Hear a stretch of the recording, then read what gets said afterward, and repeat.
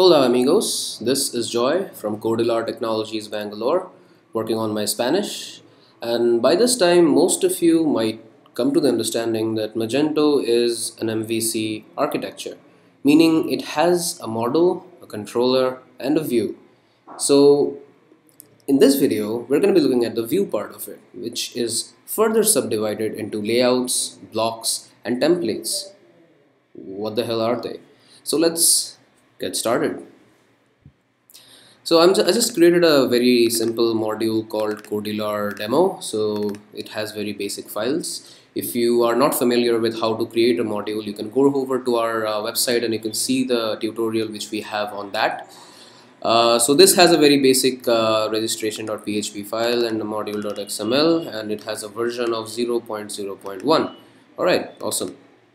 So what we're going to try to do here is we're going to try to inject some HTML into our page. So I already created a product called test and this is how it looks like. Uh, it's hundred dollars. That's pretty expensive for a product which doesn't have any image.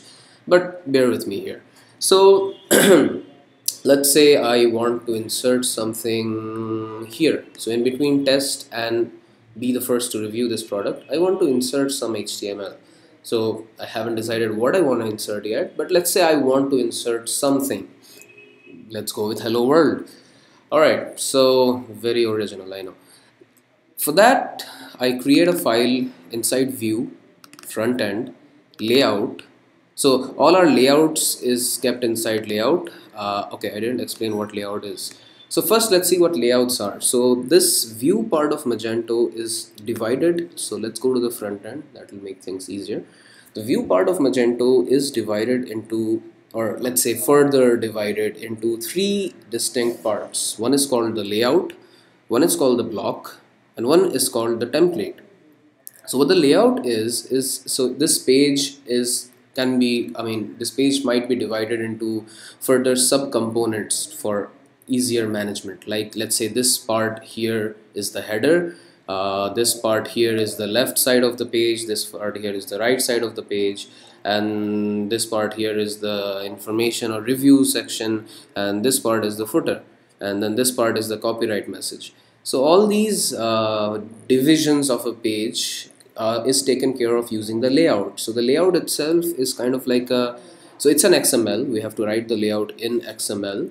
And the layout serves as sort of a skeleton for the entire page, you can say. So it's it's just so it doesn't have it doesn't actually have any data inside it. It's just a div here in the header, a div here in the content, a div here in the footer, uh, just a skeleton of it. Then what happens is the other the HTML part along with the data is inserted into these containers which the layout has created like the header the footer and so on. And these uh, data part which is inserting of the data inside the layout this is taken care of by the block. So the, what a block is so even, even in English if you think what a block is a block is like a block of the page. So this header let's say this header is a block. So this block will have all the data like the logo, the search, the sign in, create account, blah blah. All these informations will be served by the block of header. So what the header block will do, it will insert itself in the layout first, first and then it would uh, insert the data here.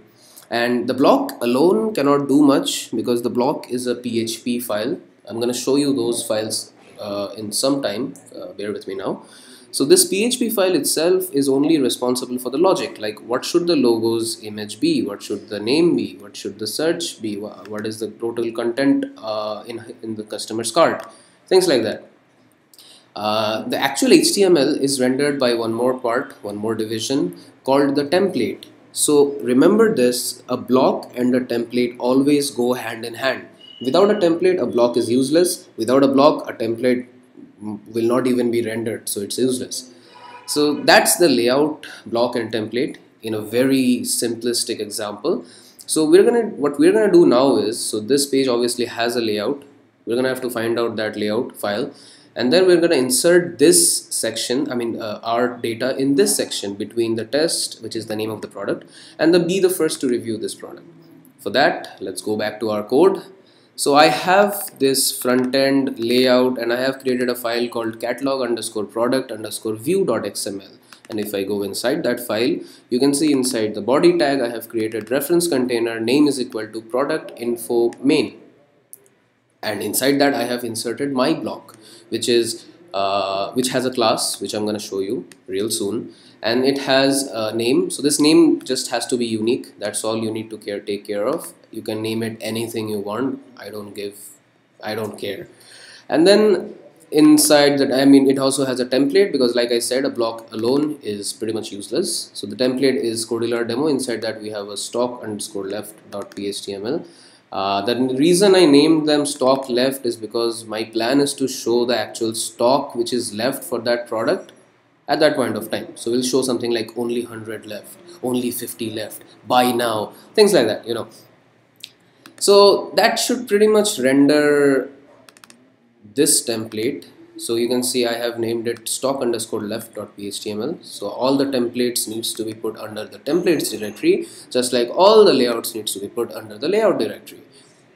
It's not layouts by the way and it's templates I know that can be confusing. Don't get confused. And then finally block is there in the block directory the block with a capital B by the way.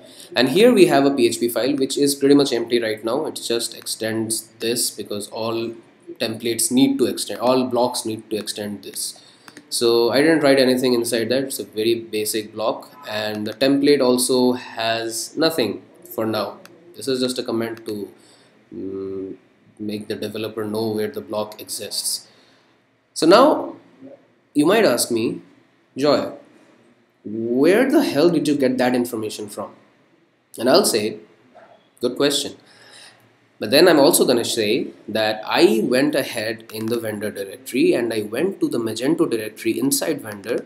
And there uh, you can see that it's written module backend module backup. So they have a lot of modules for all the functionalities. So everything is segregated and if I use a little bit of common sense I might come to the understanding that the module catalog might be responsible for rendering the product because it's a part of the catalog. So I go inside the catalog I go inside view I go inside front end I go inside layout.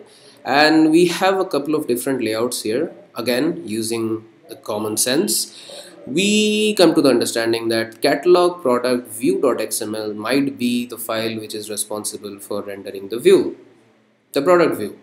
Makes sense? So then I opened that file and I saw here that we have a container called product info main.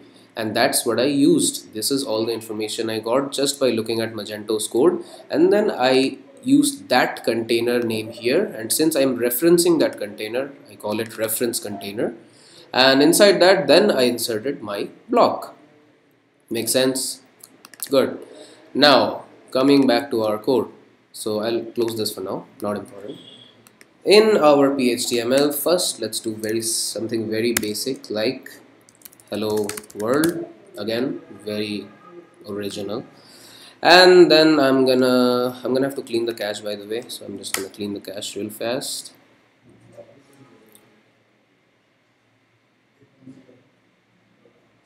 And I'll refresh the page.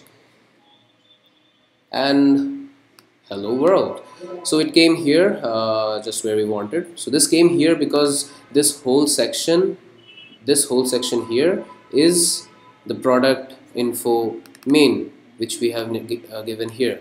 And we are inserting this. So this is getting inserted inside that. And since it's getting inserted on the top on the, the first thing to get inserted so it's showing up here. Alright so hello world is not much interesting. So let's go ahead and change that uh, instead of hello world let's do something dynamic. Let's create a function public function get data. And here I'm going to return uh, let's return something like date. And the format should be let's say year month and day uh, so that's that's our function in the block. And we can use that function inside our template as well. I'm going to show you how. So in our template we have access to a variable called block dollar block. So we can use that variable anywhere we want to call the functions of our block. I'll show you how. Dollar block of we created the function and we called it get data. Okay let's call it something else. Let's call it get date because get data might be confusing. So get date as you can see we have get date. And we also have other bunch of different functions here which we did not create and that is because we extended this template which has all these functions built in. So again coming to get date and saving that going and cleaning the cache. So don't forget to clean the cache because Magento caches the product page and the category page so if you don't clean the cache your changes will not reflect. Alright so we have the date here. So that is something dynamic. That is something which PHP did and which the template just showed. And now we're going to do something even more dynamic like let's rename this function get uh, remaining quantity. And we'll call get remaining quantity. So to get the remaining quantity here first let's just return 10 and see how to show it. So we're gonna write something like only then this then left. A bunch of different exclamation marks because apparently I'm very excited for that.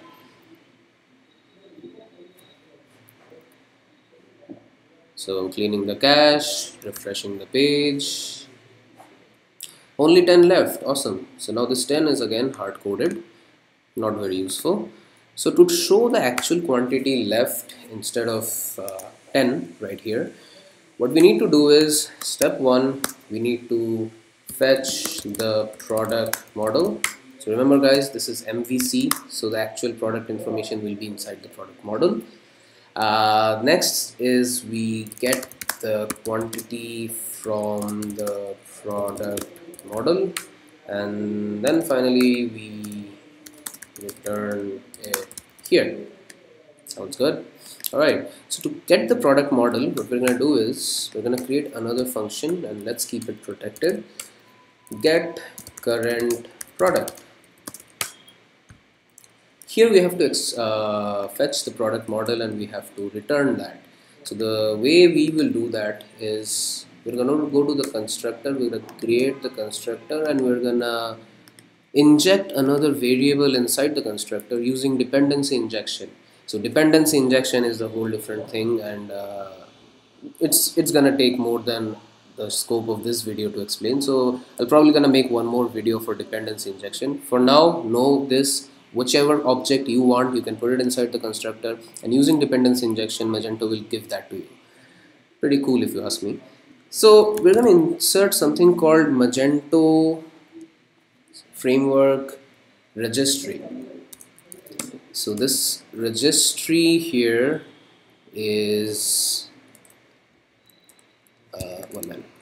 So yeah. So this registry here, and this I'm, I'm just gonna store this in a private local variable called registry. So this registry is where Magento keeps the current product when we load the product page so that we don't have to load the product page again and again in different blocks. So the more you know. Anyway, so now here we can get the current product just by doing this of registry and inside the registry the key would be product. That would give us an object of the class Magento catalog model. Remember I told you it's a model and product. So it's an object of this class and we're gonna take that here in the first step. So dollar product is equal to this of get current product. Next is we're gonna have to return the quantity. So we'll do dollar product of get quantity. All right and here we are anyway using that same variable so everything looks good. Let's clean the cache. Never forget to clean the cache.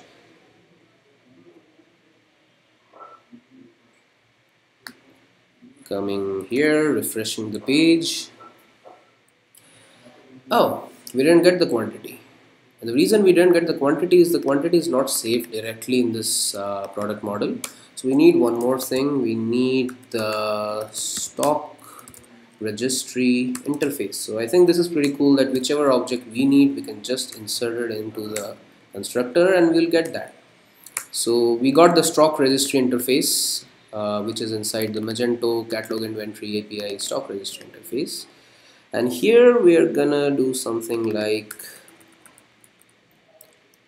uh, dollar stock is equal to this of stock registry of get stock item. And it takes one parameter which is the product ID so I'm gonna give it product of get ID which will give the product ID and here I'm gonna return dollar stock of get quantity. So this quantity is where the quantity is saved. So if we do dollar product of get quantity that would not be uh, set in this product yet because we haven't loaded its stock item. So the stock and the product are separate uh, entities and they're saved separately. Uh, we don't need to know that for now. Just know that if you want the quantity you need to load the stock registry and load the stock item and from there we can get the quantity Alright, looks good. Let's go for round two. Clean the cache. Never ever forget to clean the cache. Cache cleaned. Page refreshed. Only 100 left because 100 is the quantity. Let's go to the backend and here we have set the quantity to 100. Let's change that to 56. I don't know why I chose that number but if we save the product oh shit I just got logged out. No worries I'll log in back again.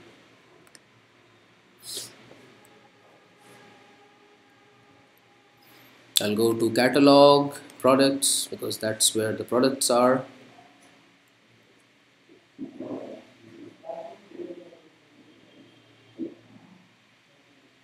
I'm gonna go to this product which I have created